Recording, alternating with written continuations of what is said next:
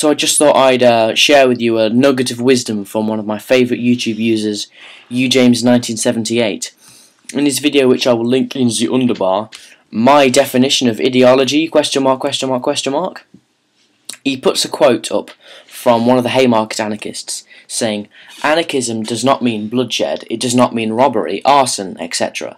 These monstrosities are, on the contrary, the characteristic features of capitalism. Anarchism means peace and tranquility to all. Okay, remember that. Then he says, but their actions always betray their words. Then he shows a photograph of a small minority of anarchists holding up radical looking signs saying that they can abolish the government.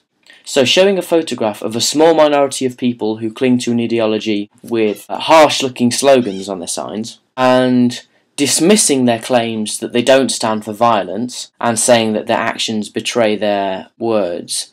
Where have we heard this before? Oh, yeah, that's the same tactic used by all of those evil Islamophobes that you're so angry about. You're so full of shit, it's unbelievable.